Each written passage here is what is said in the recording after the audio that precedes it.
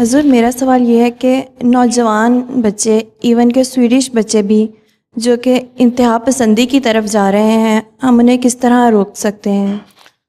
احمدی بچے بھی جا رہے ہیں؟ سویڈش اینڈ نوجوان. نو سویڈش نوجوان جو نان مسلم نان مسلم انتہا پسندی کی طرف جا رہے ہیں ان کو بتاؤ صحیح تسلیم وہ مسلمان ہوتے ہو کے جا رہے ہیں یا بغیر مسلمان ہوئے نیشنلسٹ ہو رہے ہیں؟ مسلمس بھی جا رہے ہیں۔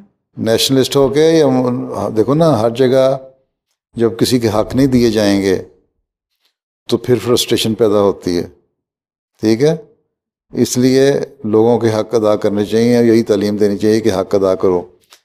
دو ہزار آٹھ کا جو اکنامک کرائسس تھا، اس سے پہلے اتنی ایکسٹریمزم نہیں تھا۔ اس کے بعد شروع ہوا۔ اس کا مطلب کہ لوگوں کے جو مصروفیات تھیں، کم ہو گئیں۔ معاشی ضروریات پوری نہیں ہوتی تھیں۔ فرسٹریشن پیدا ہوتی تھی، ایک وجہ یہ بھی بن گئی۔ پھر اسی سے فائدہ اٹھایا ایکسٹریمسٹ گروپس نے، اپنے اپنے الوسیدے کرنے کے لیے، ہیں، اپنے اپنے انٹرسٹ کو حاصل کرنے کے لیے۔ انہوں نے ایکسٹریم ریڈیکلائز کرنا شروع کیا۔ اس میں سے بہت سارے بعض لوگ مسلمان، برٹش مسلمان ہوئے اور ایکسٹریمزم ایکسٹریمسٹ گروپ کے ساتھ یا داعش کے ساتھ یا اس دوسرے شامل ہو گئے۔ تو یہی ہے کہ ان کو سمجھایا جائے، بتایا جائے، یہی میں بتاتا رہتا ہوں ہمیشہ۔ تم اپنا لٹریچر پمفلیٹ لے کے جو اپنا طبقہ ہے، اس میں بتاؤ کہ امن اور سلامتی سے رہنا چاہیے، اسلام کی حقیقی تعلیم کیا ہے۔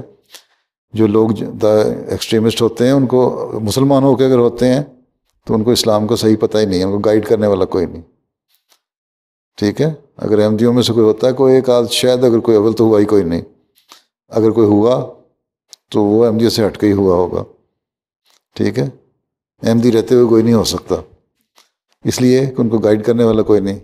تو یہی بتاؤ کہ اسلام کی صحیح تعلیم کیا ہے؟ ملاؤں نے نا اپنے ویسٹرن انٹرسٹ کے لیے اسلام کی تعلیم کو بگاڑ کے رکھ دیا ہے۔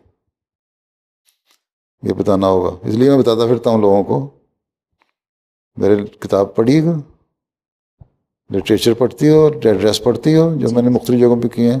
جی۔ بس وہ تقسیم کیا کرو لوگوں کو۔